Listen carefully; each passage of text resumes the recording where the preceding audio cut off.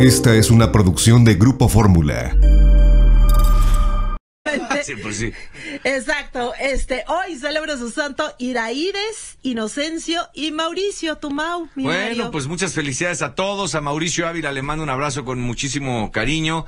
A Mauricio Torres Septién, a Mauricio Valdés Rodríguez, a Mauricio Castillo, actor y a quien tuve el gusto de conocer hace mucho tiempo, un tipazo. Mauricio Herrera y a Mauricio Hernández. A todos ellos, de parte de Joaquín López Dóriga y este equipo, muchas felicidades. Y de cumpleaños, Alfredo Carrillo Chomkovsky, a Leo Zuckerman, a mi querido Leo, colaborador en el espacio de Pepe Cárdenas y además maestro mío en el CIDE.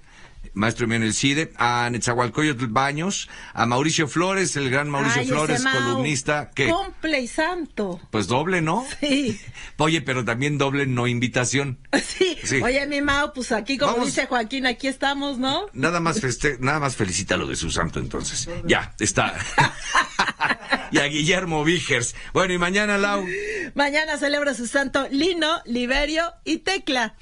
Bien, Milau. Bueno, saludo con mucho gusto a todo el equipo que hace posible esta eh, emisión informativa. A mi querida Lola Colín, Dolores Colín, a Karina Macías, María Luisa Carreño, Sandra Jiménez, José Juan Padrón, al ingeniero Víctor Malpica, Fernando Robles, Alex Gasca, Oscar Satarain, Gina Trejo Briseño, Salvador Escobar y en la tele, Ana Berta Coronado, Alonso Mancera, Diana Chávez Piña, José Antonio Méndez, Javier Mejía y Miguel Ángel Sánchez Telles, así como Dinora Corona. Bueno, pues esto, esto es algo de lo que usted leerá y escuchará en las próximas horas y seguramente eh, también en los titulares de mañana aquí en el Grupo Fórmula.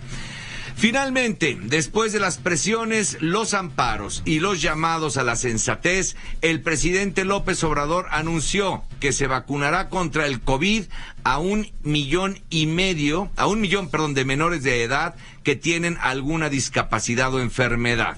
Así es que a un millón de menores de edad con alguna discapacidad se les aplicará la vacuna. Felicitó a científicos mexicanos por el avance en la creación de una vacuna propia contra el COVID y aquí aprovechó también para lanzar un ataque cotidiano contra España. El presidente dijo que los españoles trajeron la viruela tras la conquista y no fueron capaces de hacer una vacuna en tres siglos. El presidente confirmó que la Fiscalía General de la República investiga a varios científicos tras una denuncia del CONACIT que los acusa de mal manejo de recursos y refrendó su confianza en el fiscal Alejandro Hertzmanero.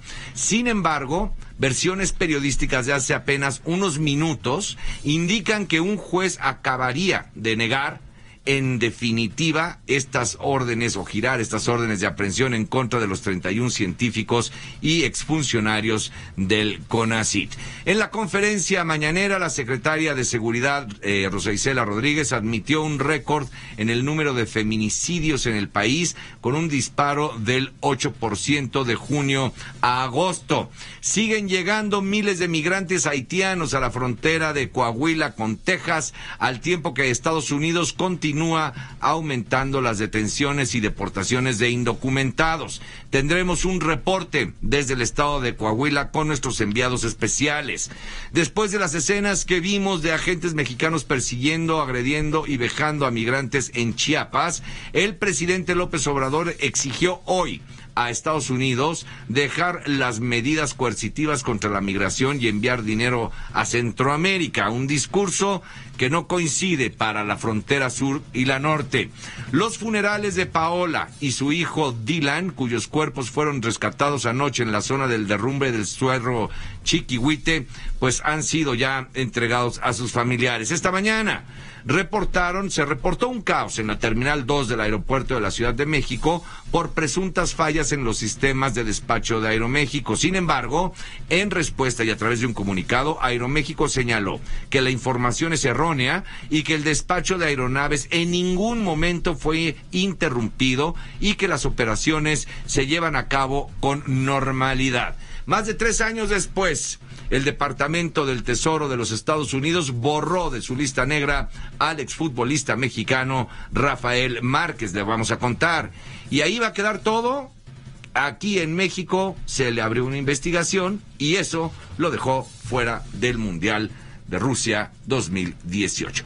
En el resto del mundo, Lau. Ordena Seguridad Nacional de Estados Unidos investigar la innecesaria violencia de la patrulla fronteriza contra migrantes haitianos, mientras la ONU califica como deplorable la situación de 14 mil migrantes en Texas e insta a no realizar expulsiones masivas. Decisión de Australia de comprar submarinos estadounidenses en lugar de franceses enfrenta ya a Biden y a Emmanuel Macron de Francia. La OMS está con descenso del 9% en el número de contagios de COVID, que sumó 13 a 19, uno de cada tres millones seiscientos mil casos. También bajó 7% los excesos en ese mismo periodo que totalizó 59 mil muertes en el mundo. Desbloquea Naciones Unidas 45 millones de dólares de ayuda de emergencia para apoyar al sistema de salud de Afganistán. En un momento le doy todos los detalles. Continuamos.